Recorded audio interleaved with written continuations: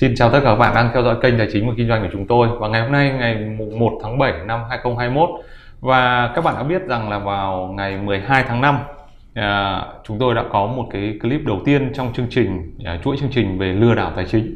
À, và các bạn à, có nhớ về cái nội dung này không ạ? Tôi sẽ bật một đoạn rất là ngắn để các bạn có thể xem.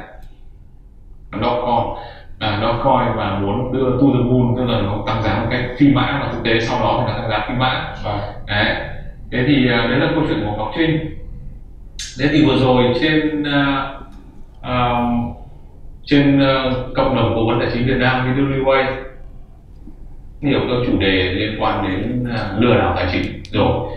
Đấy, và nhưng có một thành viên uh, thì đưa ra một cái uh, một cái đề nghị rất là hay và chúng ta cần phải phân biệt rõ. Ở đây phân biệt rõ những cái gì. Và thì uh, anh anh Tuấn đã chuẩn bị một cái nội dung để chúng ta có thể hiểu được là chúng ta sẽ phải phân biệt rõ cái gì và thì anh có thể giải thích mọi người được không ạ? Thực ra thì uh, đầu tiên ấy chúng ta phải xác định rất là rõ là đầu tư là cái hoạt động có cái rủi ro. Thế thì uh, nó có rất nhiều uh, loại rủi ro khi chúng ta đầu tư cái vâng. À, các bạn còn chắc hẳn là các bạn còn nhớ clip này hiện nay thì có 75.000 lượt uh, xem Đấy, và cái uh, nội dung này. Và chúng ta biết là vào thời điểm đó uh, nữ hoàng nội y ngọc trinh này rồi một loạt các nghệ sĩ những người nổi tiếng có tích xanh à, quảng bá về gọi là crypto. Đấy tôi còn nhớ cái từ người ta dùng. Và trong đó thì thực ra họ lồng một cái uh, token.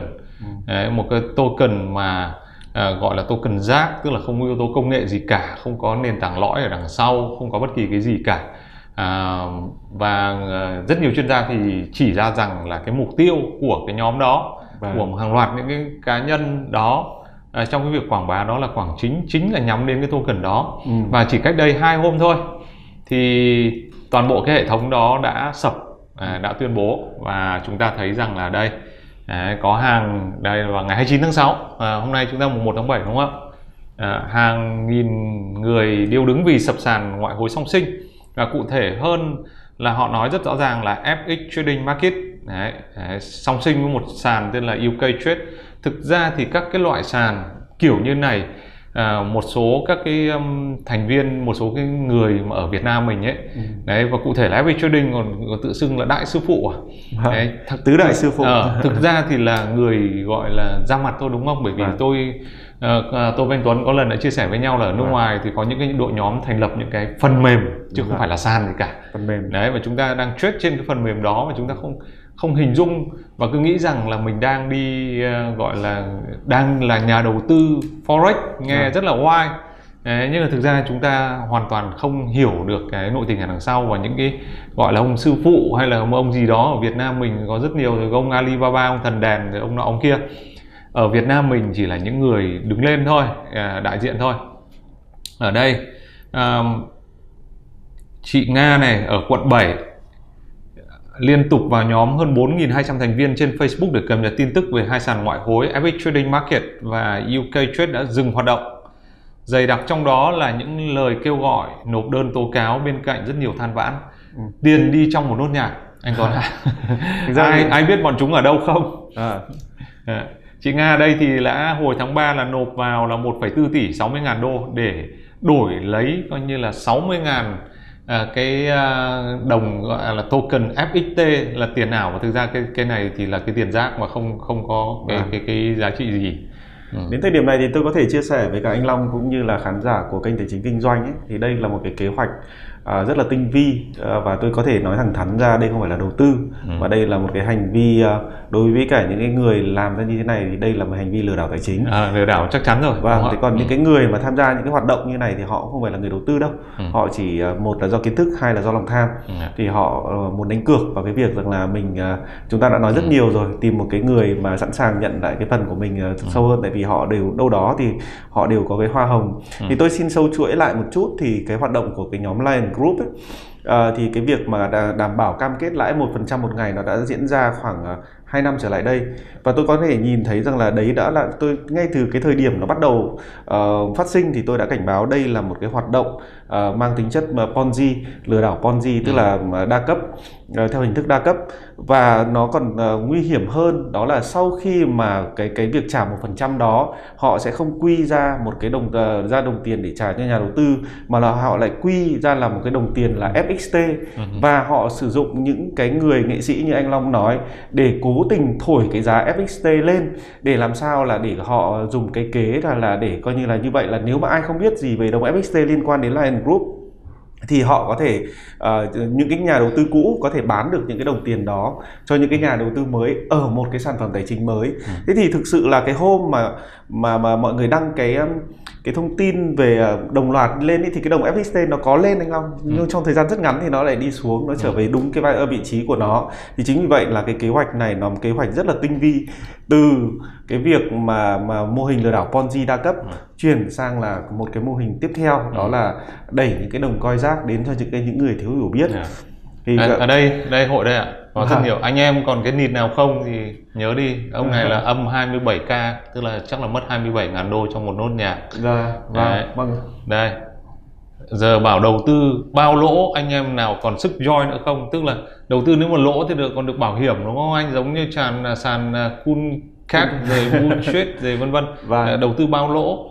Đấy, nghe đã thấy ờ, ở đây người ta dùng từ không chuẩn anh anh Tuấn ạ. Vâng. Anh à, có thể giải thích cho mọi người biết rằng là cái dạng gọi là BBO tức là binary option vâng. uh, rồi uh, đầu tư bao lỗ vâng. uh, mà các cái cái cái gọi là sàn nhưng thực ra không phải là sàn vâng. Đấy, như là FPT uh, FX Trading Market vâng. họ vận hành bản chất nó là gì không anh? Bản chất thì tôi đã nói rất là nhiều rồi đó là một cái phần mềm ừ. và cái phần mềm đấy do uh, chúng ta chơi với một một nhóm người. Ừ. chứ chúng ta sàn thì tôi đã nói rất là nhiều sàn có nghĩa rằng là một cái nơi mà người mua sẽ gặp người bán đúng không? Ừ. Ờ, thì ở đây thì chúng ta đang chơi với một nhóm người. Chúng ta là người chơi ấy, thì uh, mọi người đang có xu hướng rằng là uh, giai đoạn đầu nó mới mở ra thì chắc chắn là nó sẽ cho mình ăn. Sau đó mình sẽ rút ra ngay và những cái người khác sẽ thấy chân mình vào. Đấy là tâm lý của người chơi. Tôi có một chị bạn cũng đúng như thế đấy. Và vâng. chửi tôi rằng là là anh không biết gì về tài chính cả. Đúng à. rồi thế còn nếu mà chúng ta là một cái nhà đầu tư ấy, thì chúng ta sẽ không nghe. Tại vì nếu mà như tôi khi đi giảng dạy của chương trình Well Intelligence cũng như tôi nói chuyện với cả khách hàng ấy khi một sản phẩm đầu tư thì nó sẽ có rủi ro đầu tư. Ừ. rủi ro đầu tư có nghĩa là sự biến động giá và chúng ta sẽ hưởng lợi nếu biến động giá thuận chiều và chịu uh, thua lỗ nếu biến động giá ngược chiều. Nên có một cái điều rất cơ bản ở trong đầu tư thôi đó là khi chúng ta đầu tư chúng ta phải chấp nhận rủi ro và tất cả những cái sản phẩm nào mà bao lỗ ấy, thì nó đấy không phải là sản phẩm đầu tư. Đấy đấy rất đơn giản để cái dấu hiệu chúng ta nhận biết. Ừ. và thêm nữa đó là họ phải muốn cái gì đó ừ. để chúng ta đưa tiền vào cho họ thì họ mới bao ừ. bao lỗ cho chúng ta lấy lấy của công đằng sau để gọi là bao chính lỗ cho ông đằng trước chính xác chính à, xác. đấy gọi là cơ chế ponzi đúng không anh Tuấn? Thế còn cái câu chuyện là uh, à, BO binary option bản chất nó như thế nào anh có thể giải thích cho mọi người rõ hơn nữa không? Thực ra thì tôi rất là mong muốn là ừ. binary option tôi sẽ làm một cái chương trình riêng ấy. À, okay. uh, tuy nhiên thì tôi có thể nói nhanh với cả mọi người rằng là ở đó thì chúng ta đang một chơi một cái game nếu mà bạn nào mà quen chơi trong sòng bạc thì người ta hay gọi là tài xỉu ấy. và sóc đĩa. chẵn lẻ. Vâng, chỉ cần uh, chọn chẵn lẻ thôi. Ừ. Và thực ra binary option là một cái nghiệp vụ à, và nó được sử dụng uh, ở trên thế giới nhưng mà anh anh Long có thể quyết định mua bán gì trong vòng cái time frame à, tức là cái khung thời gian chỉ khoảng 5 giây không? Ừ. Tôi nghĩ là ừ. không đúng không? Thế thì uh, cái đó đã được sử dụng để quy một cái sản phẩm tài chính có thực trở thành một cái game giữa một người phát hành ra cái game đó và phát hành ra những cái đồng tiền đó với những người chơi với cái kỳ vọng rằng là người đằng sau mình ừ. sẽ trả toàn bộ những cái lãi cho mình. Rồi, câu chuyện vô cùng đơn giản là là cơ chế Ponzi lấy vâng. tiền người sau trả tiền cho người trước vâng. bằng một cái trò chơi là anh chỉ đoán là lên hoặc xuống. Chính Tức xác. là nếu bạn chơi sóc đĩa này là chỉ đoán là chẵn hay lẻ thôi. Chẵn hay lẻ thôi và anh anh sẽ Bản chơi với máy. Anh anh anh thắng thì họ sẽ ừ. để điều chỉnh cái ừ. cái cái tỷ lệ để cho anh thua ừ. và tất cả nó đều là xác suất thôi. Đấy, và... Bởi vì cái đấy là một cái phần mềm không phải là một cái sàn liên kết đến một cái thị trường uh, gọi là thị trường cả. money market vâng. tức là thị trường tiền tệ à, trading một cách uh, chính thống. Cho nên là đương nhiên rằng là mọi người đang chơi sóc đĩa với nhà cái. Và, và nhà, nhà cái, cái đấy chỉ, thì, uh, chỉ có mỗi một currency đó là bitcoin duy nhất. Uh, nhà cái này lại còn còn có thể làm được một cái việc là họ muốn cho bạn lãi là lãi mà muốn cho bạn lỗ là lỗ. Đấy. Thế thế thế cho nên là đây binary option. Và đây có mấy tứ đại sư phụ. Bây giờ chúng ta hiểu à, thêm một chút về tứ đại sư phụ. À còn một cái điểm nữa rất quan trọng anh Tuấn ạ. Vâng. trong Wow Intelligence ấy thì bao giờ cũng phải tính là muốn mà phát triển được ấy, thì phải à, phải xây dựng được tài sản. Đúng rồi. Thế đây họ nói đầu tư như này thì có xây được tài sản không anh? Anh đây này xem. đây này đầu tư đây này rồi đây này. Thì anh anh có thể nói cho họ biết là nếu như mà trade vào mấy cái sàn F, FX hay Forex hay là coin kiểu như này thì có vâng. có bao giờ? Thực ra thì à, nếu mà các bạn theo dõi chúng tôi thường xuyên thì chúng tôi các bạn sẽ hiểu rằng là tôi đã có một cái chuyên đề rất là rõ ràng đó là thế nào là cờ bạc và thế nào là đầu tư? Ừ. tại vì cờ bạc là chúng ta đánh cược vào một cái khả năng lên hoặc xuống thì đó là cờ bạc. Thế còn đầu tư có nghĩa là chúng ta sẽ có phải có tài sản ở trong tay. Ừ. chúng ta có tài sản ở trong tay có thể là cổ phiếu có thể là vàng có thể là trái phiếu hay là bất hoặc là bất động sản. Tức là có một cái tài sản gì đó không phải là một cái quyền thì đó thì đúng là chúng ta đầu tư và chúng ta kỳ vọng rằng là chúng ta hy sinh cái tiết kiệm à, cái cái tiêu dùng ở hiện tại để chúng ta kỳ vọng một cái mức uh, cái lợi nhuận ở trong tương lai thì đó mới là đầu tư và khi anh đầu tư vào tài sản thì anh mới mong xây dựng được cái tháp tài sản à. đấy tôi nói ví dụ như này uh, kể cả chúng ta nói rất nhiều về uh, về tiền mã hóa blockchain. Tuy nhiên kể cả trong blockchain nó cũng có chơi uh, ờ, CFD blockchain và mua cái cái cái cái cái tài sản mã hóa. Thế thì cái việc đó hoàn toàn khác nhau anh Long. À. Đấy, tức là ý tôi nói rằng là cùng một lớp tài sản là là tiền mã hóa. À. Nếu như mà anh uh, có hiểu biết anh uh, đã được nghiên cứu về nó và anh cho rằng là cái việc sở hữu nó không phạm pháp anh có thể mua nó thì đấy là anh đầu tư vào tài sản mã hóa. À. và tất nhiên cái lớp tài sản đó là rủi ro. Thế còn cái việc mà anh đánh cái việc lên xuống của tiền mã hóa thì đó là gambling. Đánh bạc. Và, đánh bạc và đấy. mọi người đang dùng à, một cái từ là trading và ai cũng trở thành trader thì tôi à. hoàn toàn phản đối cái việc đó. Đấy, thế nhưng mà anh này anh ghi là anh là đầu tư cơ kinh lắm đầu tư vào lỗ. Thôi chúng ta sẽ quay trở lại một chút à, chân dung của các cái nhóm này đây tứ đại sư phụ Đấy, trông rất là hoành tráng. Và tất nhiên những người này là người tôi thì tôi nghĩ rằng là họ là những người đứng tên. Bởi vì à, chứ không phải là họ giàu có kiếm được nhiều tiền đâu. À. bởi vì những cái hệ thống như thế này phải ở nước ngoài mang về Việt Nam. Tôi ừ. biết là hình dung là như vậy. Ừ. à, một à, đồng chí tên là gì đấy Ai Cơ Pi đấy à, HNP sinh năm 1985 ở Bắc Từ Liêm Hà Nội. Đấy, hay nói những cái câu rất hay à, như là gì đây? À, vượt qua nhiều khổ ải mới chạm tới thành công. Đấy. đây à, lịch sử à, là giám anh ca là giám đốc của cái công ty sinh chắc Vân Thanh mà đồng chí P này có làm việc. Đấy, đây là báo chí đưa nhá không phải chúng tôi. À, giám đốc của doanh nghiệp sinh chắc Vân Tay kể vào năm 2014 thì à, tôi có quen à, HNP tức là chắc là đại sư phụ gì đó khi đang làm thiết kế giao diện đồ họa cho một công ty đào tạo về giáo dục trẻ em có tên là HK.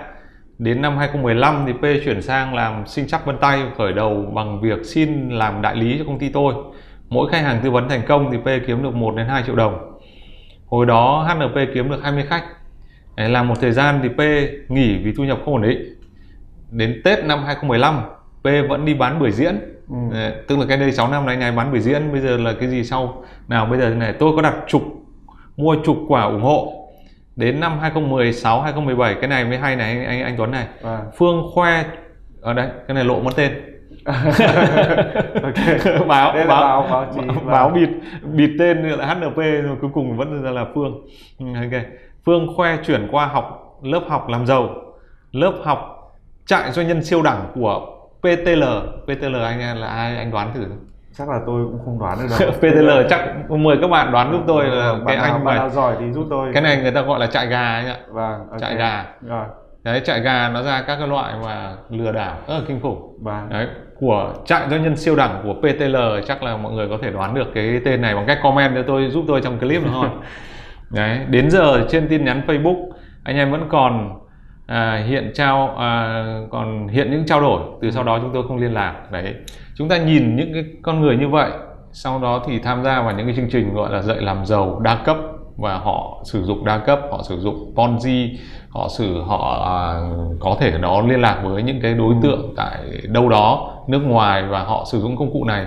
Và đến thời điểm này thì có đến 60.000 người tham gia anh Tuấn ạ. ừ. Và mất tiền mất rất nhiều tiền nhưng mà anh Long có hiểu tại sao những câu chuyện này rất hấp dẫn không? À, thì đương nhiên nó phải hấp dẫn bởi vì chúng ta thiếu game để chơi à, đấy, con người đấy. Việt Nam mình là như thế không, tôi thì tôi nhìn cái vấn đề nó nó phổ quát hơn một chút anh ừ. Long ạ tại vì chúng ta rất thích những um, cái gọi là lớp dạy làm giàu ừ. hoặc là anh nói trại huấn luyện siêu đẳng đấy à. tại vì họ sẽ đưa ra cho những cái người mà con người sinh ra ai cũng muốn thành công ừ. ai cũng muốn giàu có ai cũng muốn khỏe mạnh chính vì vậy là khi mà chúng ta không được giáo dục một cách hệ thống ấy là làm sao để đi từ điểm A đến điểm B?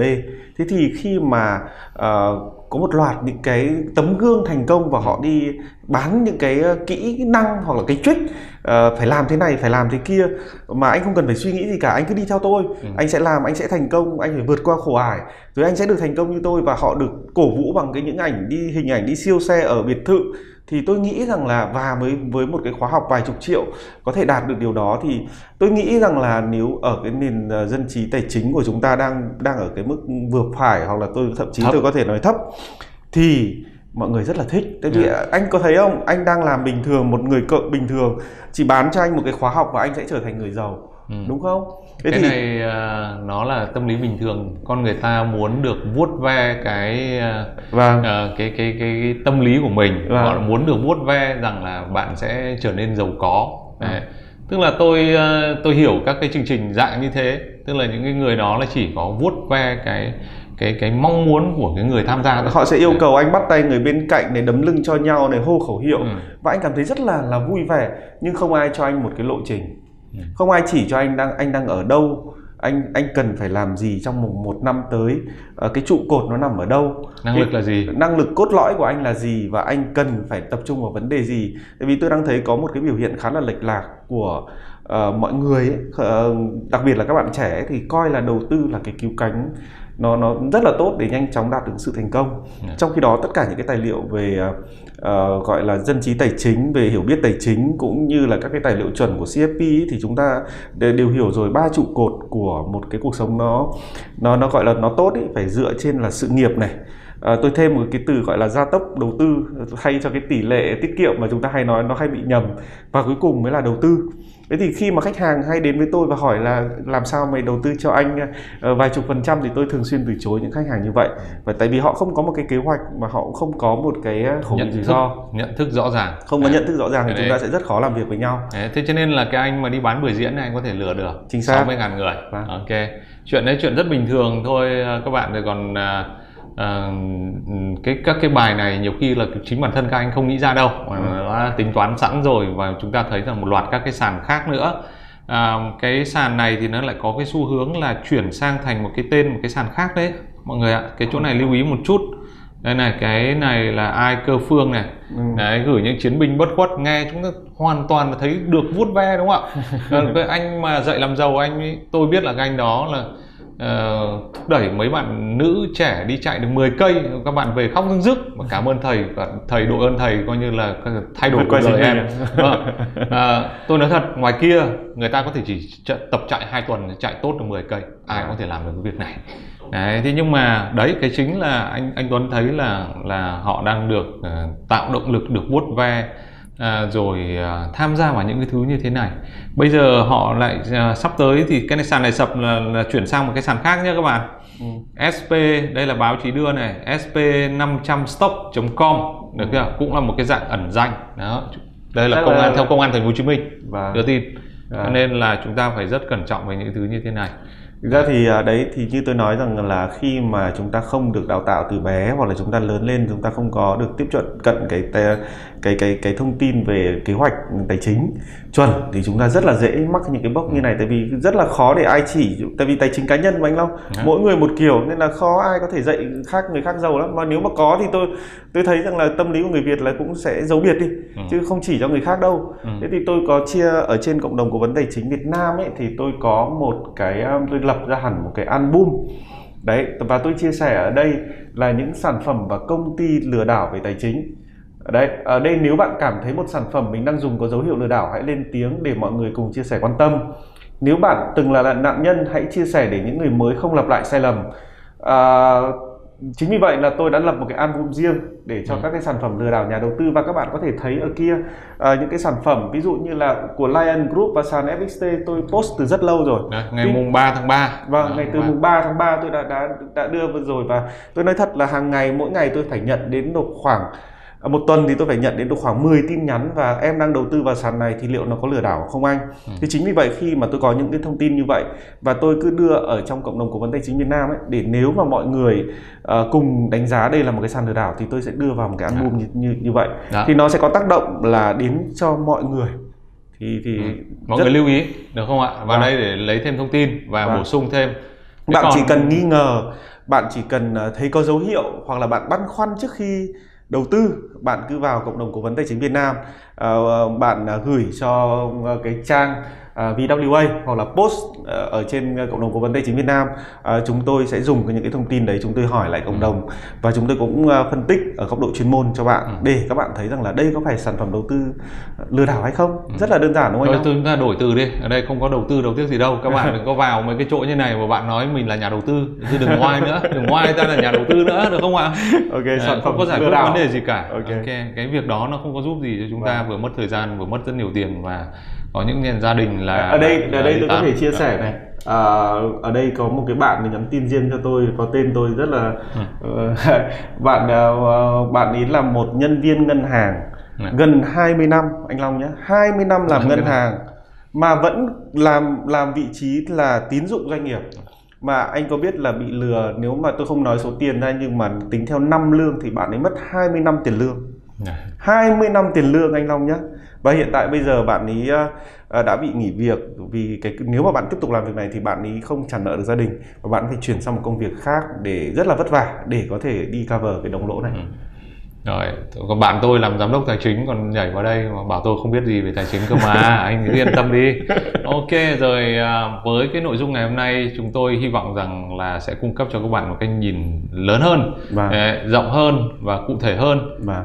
đừng các bạn nào vào vào khi nào nó sập rồi các anh vào vuốt đuôi nhá. Anh Tuấn đăng ở đây là ngày bao nhiêu nhỉ ngày 3. 3 tháng 3 nhá. Đúng vâng. không mọi người mà cái này VTV họ cũng đưa rồi. Vâng họ đưa từ lâu rồi chứ họ mà cái FPT này là FPT Trading Market này là mới được có hơn 2 năm Lion Group hơn 2 năm rồi và cái um, số lượng người tham gia là rất là lớn và à. họ và sắp tới thì đương nhiên các bạn cũng sẽ um, sẽ lại có những cái trường hợp này thôi vâng. tôi đảm bảo với các bạn như thế hiện nay có một số ứng viên trên thị trường rồi ừ.